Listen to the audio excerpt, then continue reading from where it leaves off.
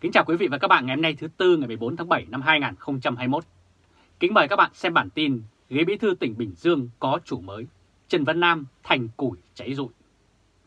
Tình hình chính trị tại tỉnh Bình Dương những ngày vừa qua rất phức tạp. Người ta nghĩ rằng ông Nguyễn Văn Thể sẽ về tỉnh này nhưng cuối cùng lực lượng địa phương đã thắng.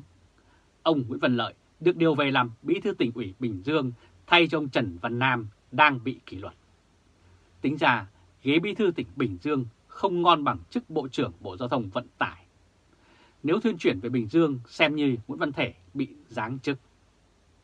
Và để đưa Nguyễn Văn Thể vào ghế bí thư tỉnh Bình Dương thì chỉ có ông Nguyễn Phú Trọng là muốn thế, còn bản thân ông Nguyễn Văn Thể có thể cũng không muốn. Tuy nhiên, nếu ông Nguyễn Văn Thể vẫn còn ngồi vào ghế Bộ trưởng Bộ Giao thông Vận tải nhiệm kỳ 2021-2026 hứa hẹn một nhiệm kỳ khó khăn cho cả Nguyễn Văn Thể và cả đương kim Thủ tướng Phạm Minh Chính. Đây là hình ảnh ông Tân Bí Thư Bình Dương Nguyễn Văn Lợi. Không phải ý muốn của ông Nguyễn Phú Trọng bao giờ cũng thành công. Ý của ông Trọng là để phục vụ ý đồ của ông ta, mà đôi khi để thực hiện ý đồ ông Trọng cũng là con dao hai lưỡi. Nếu thành công thì được ông Tổng cất nhắc lên vị trí cao hơn, còn nếu thất bại thì ông Trọng dứt bỏ, không thường tiếc. Đến thần cận như ông Đinh Thế Huỳnh, bóng Trọng còn dứt bỏ dễ dàng thì nói gì đến Nguyễn Văn Thể. Về bản chất, ông Thể vẫn cần phải đi về tỉnh để tìm kiếm cơ hội thay hay về lại Bộ Giao thông Vận tải. Và kỳ này người ta kỳ vọng ông Thể có thể về nắm bí thư tỉnh Đồng Nai. Tin tức này không biết đúng bao nhiêu phần trăm. Tuy nhiên, nếu sự thật là như vậy thì xem như ông Thể cũng là bị giáng chức. Vì làm bí thư tỉnh Đồng Nai chẳng khác nào làm bí thư tỉnh Bình Dương cả. Và rõ ràng, nội bộ trong Đảng Cộng sản Việt Nam luôn có những đổi chuyển biến và nhân sự tỉnh Bình Dương nằm ngoài dự đoán của rất nhiều người. Vào ngày 10 tháng 7, bà Trương Thị Mai, Ủy viên Bộ Chính trị, trưởng Ban Tổ chức Trung ương đã làm thủ tục. Bà đã trao quyết định của Bộ Chính trị điều động, chỉ định ông Nguyễn Văn Lợi, Bí thư tỉnh ủy tỉnh Bình Phước làm Bí thư tỉnh ủy tỉnh Bình Dương. Theo đó, ông Nguyễn Văn Lợi, Ủy viên Trung ương Đảng được Bộ Chính trị điều động, chỉ định thôi tham gia Ban chấp hành Đảng bộ, Ban thường vụ tỉnh ủy Bình Phước, thôi giữ chức Bí thư Bình Phước, chỉ định tham gia Ban chấp hành, Ban thường vụ, giữ chức vụ Bí thư tỉnh ủy Bình Dương, nhiệm kỳ 2020-2025. Ông Lợi năm nay 60 tuổi, vào Đảng vào ngày 17 tháng 4 năm 1981, quê quán tại thành phố Hồ Chí Minh và chỗ hiện nay là thành phố Thủ Dầu Một thuộc Bình Dương. Ông Lợi từng trải qua các chức vụ như Bí thư huyện đoàn Lộc Ninh, Bình Phước, Bí thư tỉnh đoàn, trưởng ban tuyên giáo tỉnh ủy và trưởng ban tổ chức tỉnh ủy Bình Phước cũng như Bí thư thành phố Đồng Xoài, Bình Phước. Và trước khi được bầu làm Bí thư tỉnh Bình Phước, ông Nguyễn Văn Lợi là Phó Chủ tịch Thường trực Ủy ban Nhân dân tỉnh Bình Phước. Phát biểu khi nhận nhiệm vụ này, ông Nguyễn Văn Lợi hứa quyết tâm xây dựng Bình Phước thành một tập thể đoàn kết kỷ cường sáng tạo, thực hiện nhiệm vụ phát triển kinh tế, văn hóa xã hội, giữ vững quốc phòng, an ninh và xây dựng đảng và hệ thống chính trị trong sạch vững mạnh, để Bình Phước vì cả nước và cùng cả nước vững bước phát triển. Đây là những điều ông ta đã hứa trước đó. Đây là hình ảnh ông Nguyễn Văn Thể không thể về Bình Dương được nữa. Việc điều động ông Nguyễn Văn Lợi như thế này xem như số phận của Trần Văn Nam được định đoạt.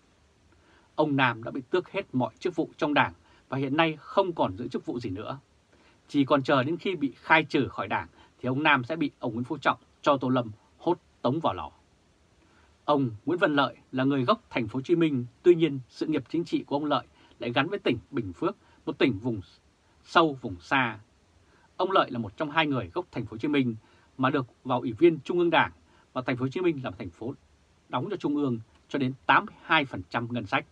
Đây là một địa phương giàu có, tuy nhiên ý đồ của Trung ương là muốn tiếp tục hút hết bình sữa của thành phố này nên Trung ương luôn đưa người ngoại tỉnh về nắm thành phố và bắt người dân ở thành phố này nộp ngày một nhiều hơn vào ngân sách của Trung ương. Ông Nguyễn Văn Lợi hiện nay đã 60 tuổi, làm bí thư tỉnh hết nhiệm kỳ rồi, về hưu nên cơ hội ông Nguyễn Văn Lợi về thành phố Hồ Chí Minh là không cao. Và đây chính là cơ hội cuối cùng mà Trung ương đã ban tặng cho ông Nguyễn Văn Lợi. Ông Trần Văn Nam thì bị giáng chức và y như ông Vũ Huy Hoàng trước đó. Trong kỳ họp Ban chấp hành Trung ương Đảng trước Hội nghị Trung ương 3, ông Nguyễn Phú Trọng đã thông qua Bộ Chính trị cũng quyết định thi hành kỷ luật ông Vũ Huy Hoàng, nguyên Ủy viên Trung ương Đảng, cựu Bộ trưởng Bộ Công Thương, bằng hình thức khai trừ ra khỏi đảng. Trong kỳ họp này, ông Trần Văn Nam cũng bị giáo tên và số phận ông Nam được định đoạt chung với ông Vũ Huy Hoàng. Và vào ngày 6 tháng 7, ông Trần Văn Nam, bí thư tỉnh Bình Dương đã bị cách tất cả các chức vụ trong Đảng Cộng sản Việt Nam và Ban chấp hành Trung ương đã thi hành kỷ luật ông Trần Văn Nam, bí thư tỉnh ủy Bình Dương bằng hình thức cách chức như vậy. Đây là động thái của Ban chấp hành Trung ương Đảng trước khi bắt ông Trần Văn Nam cho vào tù. Tại kỳ họp Trung ương Đảng đã xem xét thi hành kỷ luật các cán bộ và tại kỳ họp này, đích danh ông Nguyễn Phú Trọng đã thay mặt Bộ Chính trị chủ trì điều hành chương trình của hội nghị.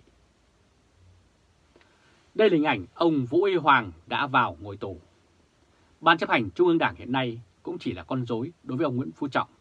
Ý kiến của ông Trọng được Ban chấp hành Trung ương Đảng đã thảo luận kết luận biểu quyết. Khi đó, quyết định của ông Trọng lại việc thành quyết định của tập thể. Việc quyết định thi hành kỷ luật ông Trần Văn Nam, Ủy viên Trung ương Đảng, Bí thư tỉnh ủy, trường đoàn đại biểu Quốc hội khóa 14 của tỉnh Bình Dương bằng hình thức cách chức tất cả các chức vụ trong Đảng của nhiệm kỳ 2010, 2015 và cho đến tận 2020-2025.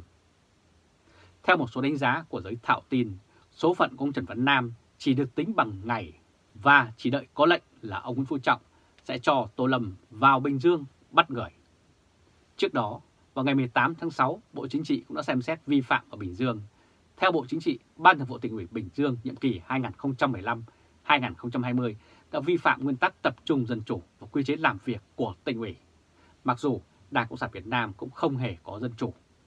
Và họ đã buông lỏng quản lý, lãnh đạo, chỉ đạo, thiếu kiểm soát để một số tổ chức đảng và đảng viên vi phạm các quy định của đảng, pháp luật của nhà nước với quản lý sử dụng đất đai, vốn tài sản của đảng và nhà nước tại Tổng Công ty Sản xuất và Xuất nhập khẩu Bình Dương, còn gọi là Tổng Công ty mùng 3 tháng 2, thuộc tỉnh Bình Dương, gây hậu quả rất nghiêm trọng, thất thoát lớn ngân sách của nhà nước.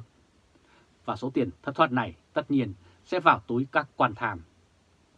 Ban cán sự đảng và Ủy ban Nhân dân tỉnh Bình Dương nhiệm kỳ 2016-2021 cũng đã vi phạm nguyên tắc tập trung dân chủ, vi phạm cơ chế làm việc và buông lỏng cơ chế lãnh đạo và vi phạm quy định của nhà nước về quản lý sử dụng đất đai và tài sản nhà nước, gây hậu quả đặc biệt nghiêm trọng tại Tổng Công ty mùng 3 tháng 2, thất thoát lớn ngân sách nhà nước, và đây chính là số tiền của người dân đóng góp. Và về trách nhiệm cá nhân, ông Trần Văn Nam với cương vị là Ủy viên Trung ương Đảng, Bí thư tỉnh ủy, trường đoàn đại biểu Quốc hội khóa 14 phải chịu trách nhiệm trước người đứng đầu về các vi phạm, khuyết điểm của Ban Thường vụ tỉnh ủy nhiệm kỳ 2015-2020. Và dư luận thấy rằng rõ ràng các cơ quan kiểm tra của Đảng đã đánh luôn vào sân sau của ông Trần Văn Nam có ý nghĩa gì? Ông Nguyễn Phú Trọng rất thích buộc tội người khác bằng cái gọi là nguyên tắc tập trung dân chủ. Ông Nam cũng không ngoại lệ, ông cũng bị kết luận vi phạm nguyên tắc tập trung dân chủ, quy chế làm việc, làm trái chủ trương của tỉnh ủy và vi phạm pháp luật về quản lý, sử dụng đất đai, vốn, tài sản của Đảng, nhà nước tại Tổng công ty mùng 3 tháng 2. Ông ta đã chỉ đạo hợp thức hóa tài liệu để che giấu vi phạm, gây thất thoát lớn tài sản ngân sách của Đảng và Nhà nước và nhiều cán bộ, đảng viên của tỉnh đã vi phạm kỷ luật Đảng bị khởi tố hình sự. Đây là hình ảnh ông Trần Văn Nam khó thoát khỏi số phận bi thảm. Ai cũng hiểu công ty mùng 3 tháng 2 là công ty sân sau. Kỳ này, ông Nguyễn Phú Trọng muốn đánh vào cả chân trụ kinh tế của ông Trần Văn Nam tại tỉnh Bình Dương, có lẽ còn nhiều nhân vật cộng cán hơn nữa cũng sẽ liên lụy vì dính dáng đến Nguyễn Văn Nam và công ty mùng 3 tháng 2. Quý vị và các bạn vừa theo dõi chương trình truyền hình trực tiếp của Lê Trung Khoa, Thời báo chấm ngày hôm nay thứ Tư ngày 14 tháng 7 năm 2021 với bản tin Ghế bí thư tỉnh Bình Dương có chủ mới, Trần Văn Nam thành củi cháy rụi. Quý vị hãy chia sẻ video này cho nhiều người biết và bấm nút theo dõi YouTube và Facebook của Thời báo chấm để luôn được cập nhật những bản tin mới nhất, nhanh nhất và trung thực nhất. Từ Berlin, Cộng hòa Liên bang Đức, chào các bạn và hẹn gặp lại các bạn vào bản tin lần tới. Trung Khoa Thời báo chấm